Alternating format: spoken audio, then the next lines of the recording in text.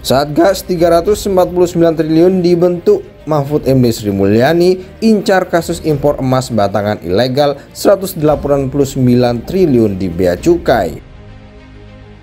Sebutkan oleh PPATK ada 15 individu dan entitas itu perusahaan dan nama orang yang tersangkut 189,273 triliun tersebut. Mereka adalah yang melakukan ekspor, import emas batangan dan emas perhiasan. Dan juga kegiatan money changers dan kegiatan lainnya. Bea Cukai kemudian melakukan seluruh penelitian terhadap 15 entitas itu, maka Bea, Cukai, Pajak melakukan juga penelitian dari sisi pajak dari 2017 hingga 2019. Impor emas batangan yang mahal-mahal itu tapi di dalam surat cukainya itu dibilang emas mentah. Diperiksa oleh PPT 3 diselidiki. Di mana? Kamu kan emasnya emas sudah jadi kok bilang emas mentah? Enggak. Ini emas mentah tapi dicetak di Surabaya. Dicari ke Surabaya enggak ada pabriknya dan itu menyangkut uang miliaran. Saya juga sedih bro dikatakan bahwa saya menghalang-halangi untuk Bapak mengungkapkan data. Saya Komisi 3 tidak alergi tidak enggan untuk membongkar kasus-kasus Pak. Yang disebutkan tadi abang saya Pak Misbakun emas kami yang bongkar Pak. Saya Pak. Itu. Nggak ada di kita ini yang punya niatan buruk. Di dunia sana di publik luar sana di netizen yang katanya netizen yang mendukung Prof seolah-olah kita dikatakan anti kalau bisa kita tindak lanjuti soal emas 189 triliun ini. Ini dasar.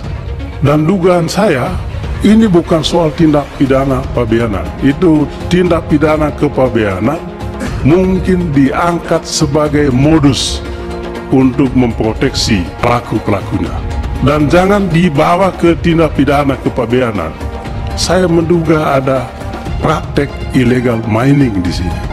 349 itu harus harus betul-betul clear ya walaupun itu adalah mutasi ya mutasi belum tentu 349 juga karena tadi kan disebutkan misalnya satu miliar dipindahkan lagi satu miliar kan bukan dua miliar satu miliar. Tapi apa pun itu proses hukum yang jalan. Karena ini adalah LHA dari PPATK karena sudah disampaikan orang-orang yang betul-betul mempunyai e, membuat membuat perusahaan-perusahaan cangkang itu sekarang udah siap-siap itu. Udah siap-siap semua jadi ini bahaya sekali gitu. Pembahasan sampai mendetail seperti itu tuh berbahaya sekali.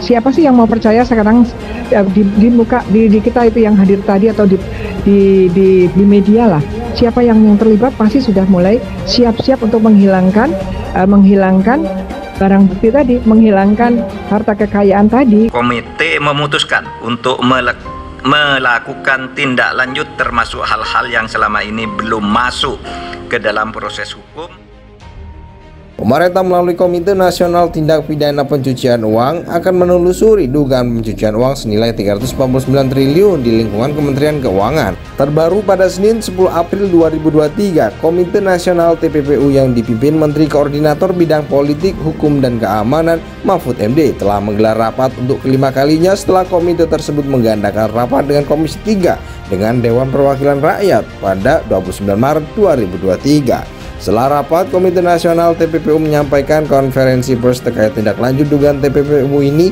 di lingkungan Kemenkeu tersebut. Dalam konferensi pers Senin kemarin, Mahfud menyatakan bahwa tidak ada perbedaan data antara Kemenko Polhukam dan Kementerian Keuangan. Tidak ada perbedaan data antara yang disampaikan oleh Kemenko Polhukam sebagai Ketua Komite TPPU di Komisi 3 DPR tanggal 29 Maret 2023 dengan yang disampaikan oleh Sri Mulyani di Komisi 11 DPR tanggal 27 Maret 2023 ujar Mahfud kepada awak media. Data yang disampaikan Mahfud dan Sri Mulyani berasal dari sumber yang sama yakni data agregat laporan hasil analisis PPATK 2009-2023. Keseluruhan LHA mencapai 300 surat dengan total nilai transaksi agregat senilai 349 triliun. Pemerintah juga akan membentuk satuan tugas menindaklanjuti temuan janggal 349 triliun itu. Mahfud mengatakan Satgas terdiri dari PPATK, Direktorat Jenderal Pajak, Direktorat Jenderal Bea Cukai, Baris Krim Polri, Tindak Pidana Kasus Kejaksaan Agung, Bidang Pengawasan Otoritas Jasa Keuangan, Badan Intelijen Negara, dan Kemenko Polhukam.